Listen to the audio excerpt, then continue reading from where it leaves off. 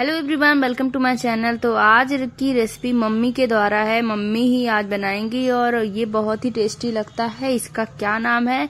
अभी आपको कुछ देर में पता चलेगा और इसके बाद आप बताएँगे कि आपके यहाँ क्या क्या इसे कहते हैं। तो सबसे पहले उड़द दाल, चना दाल को ले लेंगे। और इसको भिगो देंगे चार से पाँच घंटा। मेज़रमेंट मैंने छोटे से कटोरी से लिया है। आधा कटोरी चना दाल और डेढ़ कटोरी मैंने लिया था उड़द दाल।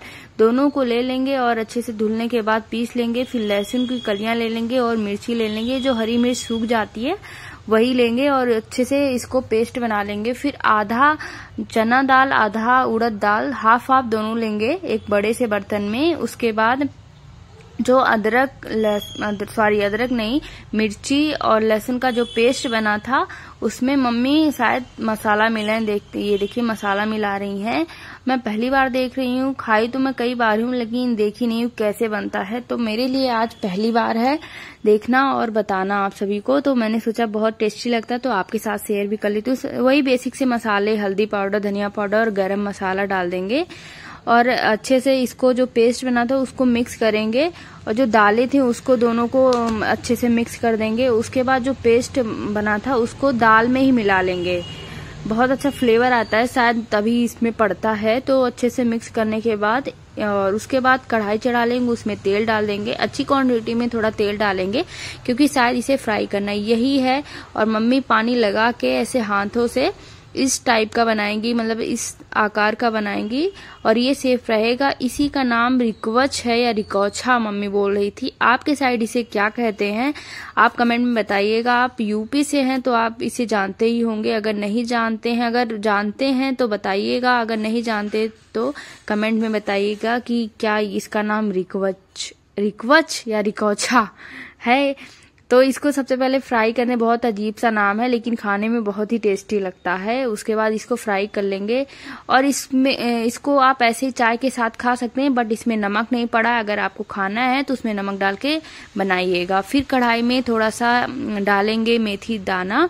और हींग डालेंगे, क्योंकि उड़द का आइटम है तो हींग डालना बनता ही है। फिर जो पेस्ट बनाए थे, उसे डाल देंगे। और अच्छे से भूनेंगे बढ़िया सा। उसके बाद जो दाल बची थी, हाफ़ दोनों उसमें जो है एक बाउल में फिर इसमें कढ़ाई में पानी डाल देंगे, अच्छी क्वांटिटी में पानी डालेंगे। डालने के बाद आप अच्छे से मिला लेंगे और नमक डाल देंगे, क्योंकि किसी चीज़ में नमक नहीं पड़ा है तो अच्छे से डालिएगा। नमक मतलब टेस्ट के अकॉर्डिंग बहुत ज़्यादा भी मत डाल दीजिएगा, नहीं तो खराब ही हो जाएगा। सब उसके बाद जो दालें बची थी, उसको बेसन का जैसे घोल बनता है, उसको घोल बना लेंगे और जब ये बॉइल्ड होने लगेगा तो यही जो रिकोच्छा रिकोच्छा है, उसको डाल देंगे और बॉइल्ड होने के बाद उसके बाद जो पेस्ट बनाए थे मतलब यही दालों वाला जो पेस्ट था, उसको डाल देंगे घोल सॉरी उसको अच्छे से मम्मी ऐसे थाली से एकदम अच्छे से क्लियर करके डालेंगी। थोड़ा सा पानी भी डाल के करेंगी, क्योंकि एज यूजल सभी लोग जानते हैं कि उसको कुछ बचना नहीं चाहिए, सब कुछ डाल दिया जाता है। तो उसके बाद मम्मी उसको देखो, हाथों से एकदम क्लीन करके थाली को डाल रही हैं और डालने के बाद इसको पाँच से छह मिनट पकाएँगे क्योंकि आसा, जल्दी से बन जाता है, ज़्यादा पकाना उकाना नहीं पड़ता है और ये पाँच से छह मिनट में बन जाता है।